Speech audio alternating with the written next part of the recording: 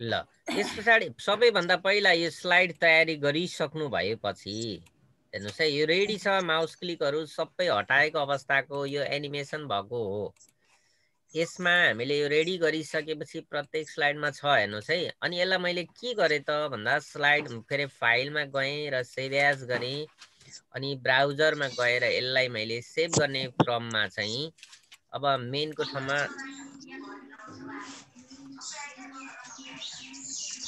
Slide view भनेर राखेँ है।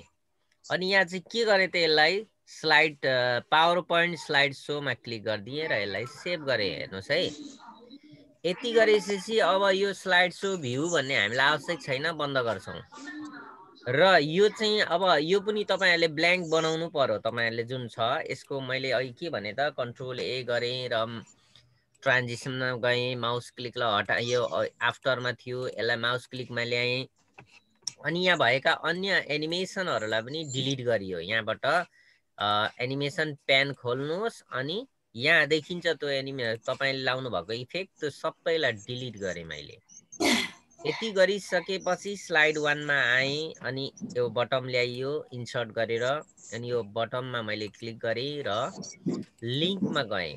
लिङ्कमा गएपछि यहाँबाट फोल्डर ओपन अथवा तपाईँले यहीँबाट क्लिक गरेर जाँदा नि हुन्छ। अनि के थियो त हाम्रो फोल्डरको नाम सायद यही राखेको हुनुपर्छ। हामीले हेर्नुहोस् यहाँ छ कि छैन? हो यो हो नि त स्टार्ट बनाएको अहिले। अहिलेको स्लाइ मैले अर्को बनाएँ त्यसलाई मैले यहाँ सेभ नगरेकोले यसैमा ल्याएँ है। यसलाई ओके गरेँ।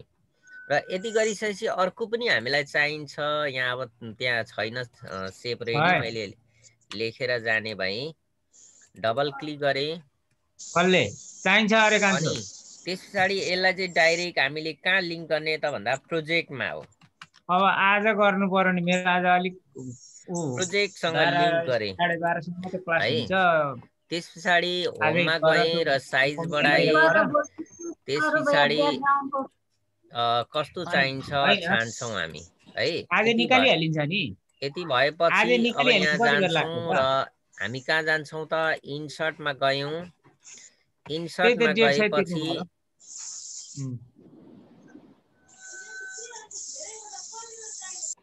पाँचवटा चाहिएको रहेछ हामी इन्सर्टमा गयौँ। इन्सर्टमा गइसकेपछि हामीले फेरि इन्सर्टमा गएँ मैले अलिकति त्यहाँ साउन्डलाई म्युट गर्न चाहेँ। इन्सर्टमा गएर हामीले अब एकै ठाउँमा हाम्रो फोल्डर कहाँ छ त? डेस्कटप डेस्कटपको हामीले पिपी मैले मेरो नाम राखेर यहाँ पिपिटी भनेको छु। यही भित्र चाहिँ हाम्रो के हो त त्यो अहिलेको ए सरी हामीलाई मेन चाहिने चाहिँ कहाँ त? दिस प्लेसमा है यहाँ त्यहाँ मिस्टेक गरेँ मैले। यहाँ चाहिँ आउनुपर्ने है म्याम अब यो प्रोजेक्ट वर्क चाहिँ हाम्रो कतिबाट स्टार्ट त चारमा छ? यो स्लाइड सिद्धिनु साथै हामी चार नम्बर प्रोजेक्ट वर्कमा आउनुपर्ने भएकोले चारमा क्लिक गरेर ओके गरिदिएँ। अब हेर्नुहोस् है हामीले स्लाइड सो गर्नुपर्छ। यहाँसम्म बुझ्नु भयो कि भएन? फेरि एकपल्ट मैले दोहोऱ्याएँ।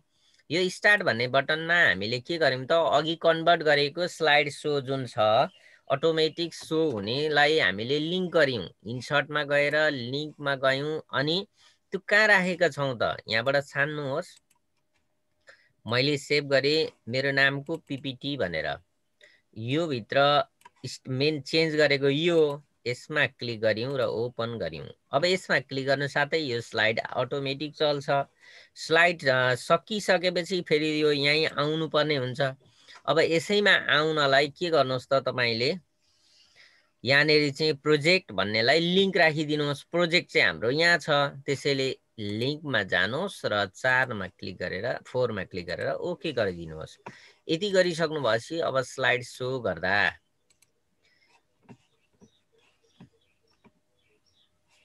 स्लाइड सो भइसकेको छ। यहाँ स्टार्ट भन्ने बटन आउँछ। यसमा क्लिक गरिदिनुहोस्।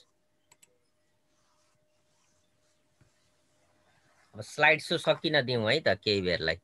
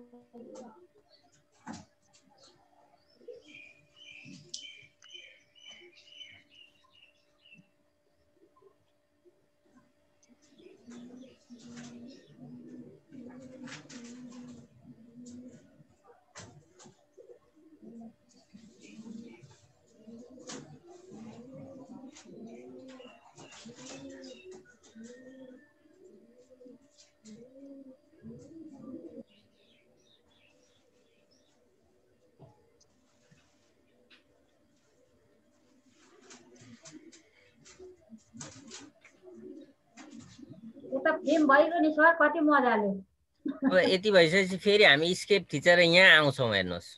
है? अनि हामीलाई त अब क्वेसन आउन सक्छ त्यो प्रोजेक्टमा त पुग्नु पर्यो। प्रोजेक्ट भनेर क्लिक गरिदिनुहोस्। ए यहाँ आइपुग्यौँ नि हामी। यहाँ आइसकेपछि सरहरूले अब हामीलाई कुनैलाई जानुहोस् भन्नुभयो।